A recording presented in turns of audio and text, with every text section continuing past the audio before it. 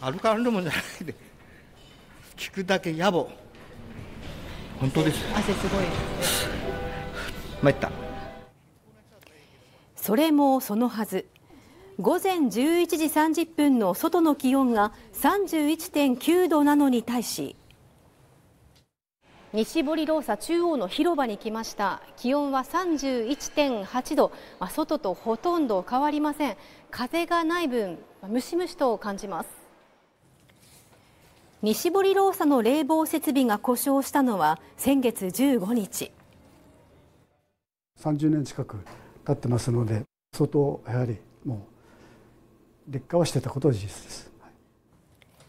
2台ある設備のうち1台のモーターが故障し館内の80%のエリアに影響が出ています。そこのちょうどトイレあるトイレのあそこまでは効いてるんですね。完璧に一方中央の広場の近くでは。ここから先は解消すごいそうでしょ全然違うでしょ。とした風が吹いてきます、これがまあ外気がもしなってくればみんな涼しくなるけどまあこのまま食うはダメですね。暑さ対策として30台の扇風機を用意しテナントに配布していますうちらとしてみればやっぱお客さんがね暑い暑いって言ってくれるのはちょっと大変ですいませんと必ず言うんですけど汗流しながら買っていただいてるからね。西堀労佐側は無理のない営業を呼びかけていてこの店では現在閉店時間を23時間繰り上げています。こちらの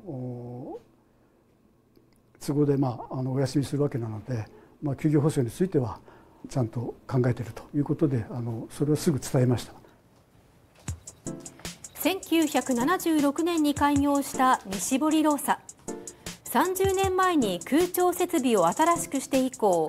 億単位の費用がかかる設備の入れ替えに踏み切ることはできませんでした。地下街ですのでいろいろ消防法とかあの、まあ、そういう防災関係でどうしても法的にあの更新する必要があるものをまず最優先してます故障した部品の製造はすでに終わっていて修理を待つしかない状況です9月もね今月もだいぶ暑いんで、まあね、もしギリギリ9月間に合えばいいかなと思ってますが、まあ、ちょっとその辺は、まあ、期待はしてますけども。